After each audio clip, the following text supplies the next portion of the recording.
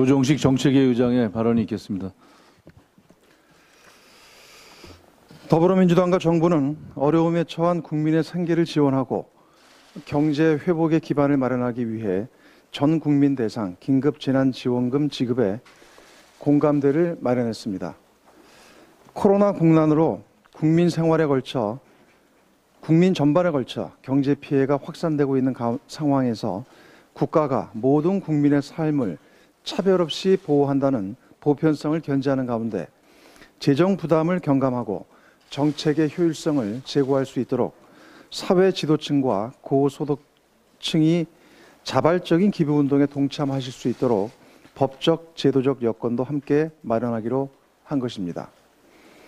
당정은 이를 계기로 계층과 세대, 지역을 넘어 많은 국민이 참여하는 범사회적 경제 국난 극복 운동의 성공을 위해 모든 방안을 마련하도록 하겠습니다. 이제 가장 시급한 일은 국회가 긴급 재난 지원금을 신속히 처리하는 일입니다. 국회를 바라보며 재난 지원금의 신속한 처리를 기다리는 국민의 절박한 사정을 더는 외면해서는 안 됩니다. 지난 총선에서 황교안 대표가 전 국민 지급을 천명했고 심재철 원내대표도 당정이 합의안을 마련할 경우 이를 수용하겠다고 한 만큼 재난지원금 지급을 위한 추경 심의를 더 이상 미룰 이유가 없습니다. 그럼에도 불구하고 여전히 미래통합당 일각에서 정부가 수정안을 제출하라고 또다시 어깃장을 부리는 것은 국정 발목 잡기이자 신속한 처리를 기대하는, 기대하는 국민의 요청에 참모를 끼얹는 주장입니다. 또한 자발적 기부가 국민 우롱이고 편 가르기라는 주장까지 하고 있는데 이야말로 어려운 이웃을 배려하는 국민을 우롱하는 것이고 선의의 사회적 기부를 폄훼하는 대단히 부적절한 발언입니다. 4월 말 추경 처리 시한이 고작 일주일도 남지 않았습니다.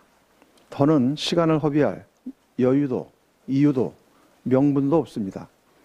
예산 증액은 국회가 빨리 추경을 심의해서 수정안을 의결하면 되고 그것이 국민의 고통을 덜어드리는 가장 빠른 길입니다.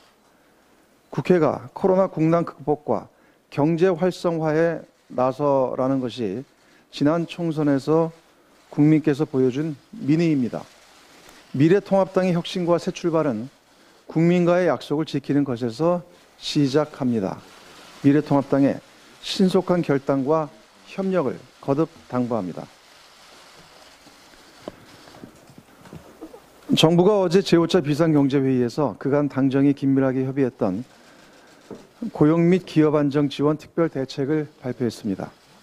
정부의 이번 대책이 현장에서 효과를 발휘하기 위해서는 무엇보다 국회 차원의 속도감 있는 뒷받침이 절실합니다. 특히 기간산업 안정을 위한 산업법 개정, 기금 채권 국가 보정 동의안과 함께 내수 활성화 세제 지원을 위한 조세 특례 제한법 등이 신속하게 처리되어야 합니다. 지금은 시간이 생명이고 속도가 정책의 성패를 좌우합니다.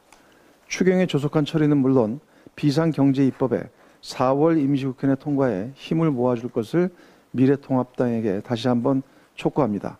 국가적 재난 앞에 여야가 따로 있을 수 없다는 점을 깊이 명심해 주기 바랍니다. 한국은행이 오늘 발표한 올 1, 4분기 실질 국내 총생산 GDP 성장 속보치에 따르면 우리나라의 실질 GDP가 전분기에 비해 마이너스 1.4% 감소했습니다. IMF가 지난 14일 발표한 세계 경제 전망 보고서에서 세계 경제 성장률을 마이너스 3%로 예측했던 전망과 세계적 경제 충격의 우려가 나타나고 있는 것입니다. 코로나19에 따른 내수와 민생 충격이 실물 지표에 본격 반영되기 시작한 것인데 다행히 방역과 경제 위기에 맞서 우리 정부가 재정을 통한 적극적 역할을 수행하고 있고 투자와 순수출 증가에 따라 성장세 하락을 완충해 주었다고 평가합니다. 그러나 4월 들어 미국과 유럽 등 주요국의 록다운 조치에 따른 생산 차질 등 대외 여건 악화로 인해 하방 리스크가 확대될 것이 예상됩니다. 더불어민주당과 정부는 코로나19로 인한 성장과 고용의 충격과 하방 압력을 최소화하기 위해 과감하고 종합적인 총력 대응 방안을 추진할 것입니다. 지금까지 정부와 여당이 마련한 비상경제 대책을 신속하게 추진하여 현장에서 체감될 수 있도록 법률 개정과 기금 채권, 국가 보증 등 국회가 속도를 낼 수 있도록 하겠습니다. 또한 6월 초 예정인 3차 추경안 및 하반기 경제정책 방향에서 과감한 방안이 마련되도록 당과 정부가 긴밀하게 협의할 것입니다. 특히 민생 경제와 내수 활성화, 수출 활력 유지, 한국판 뉴딜 정책을 구체화하는 데 정책 역량을 집중하도록 하겠습니다. 이상입니다.